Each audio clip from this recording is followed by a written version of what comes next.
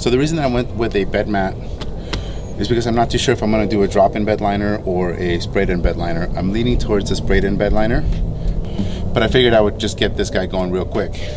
So I went on to roughcountry.com and I got this guy for 100 bucks.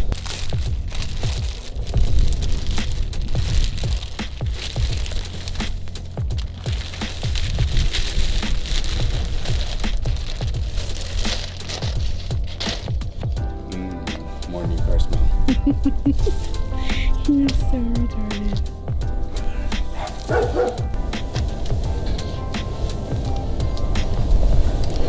Jaeger, do you want moving blankets, bud? Do you want moving blankets? Do you like moving blankets? Moving blankets.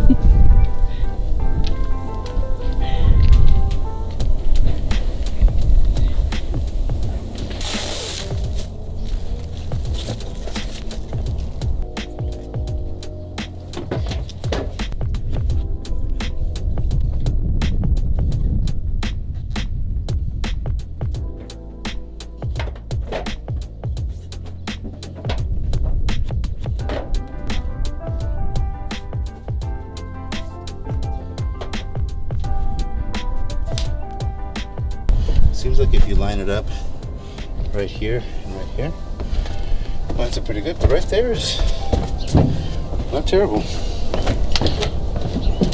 And just like that, it's in. Took all of two minutes. Let's take a look at some of the specs on this guy.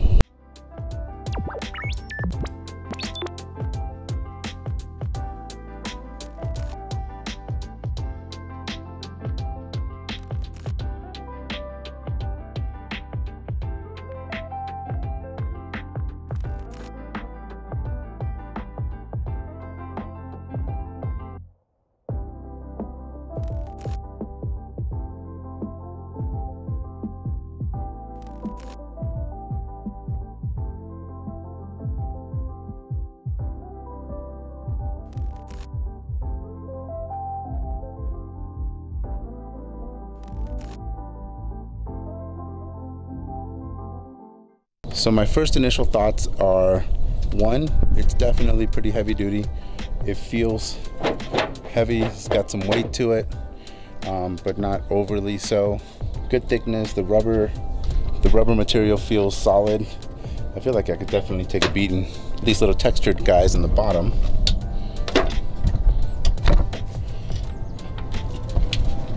Not sure what to call those help it keep it from sliding around the mat and just keep it in place. Up top, you've got your grooves in there. Of course, your rough country logos. Nothing too fancy. You can tell that it's just kind of made and cut real quick.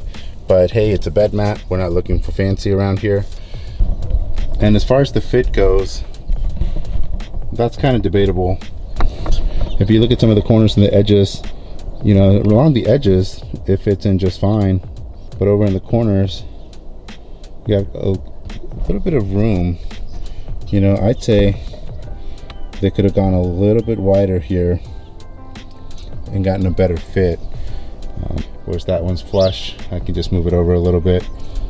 Minor, minor little details overall fit is pretty good. I'd say probably a you know four out of five on the fit. As far as the quality goes, I'd say four and a half out of five, and uh, just value five out of five. So until I decide what I'm going to do with this guy, whether I go drop in or a uh, sprayed in bed liner for a hundred bucks, can't beat it. Well, if you're thinking about getting a bed mat um, and you're not too sure which way to go, and maybe you're looking at the rough country, I hope this helps. Damn dogs.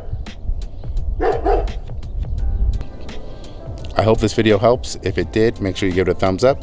And if you want to check out some of our other videos that we have, check out the channel. Make sure you subscribe. That's going to do it for this video. I'll see you guys next time. Hey, dude. What are you doing, huh? You want to go? You want to go to Mexico? You want to go? You want to get in the back of your dad's truck and go to Mexico? You're a good boy, Muffin.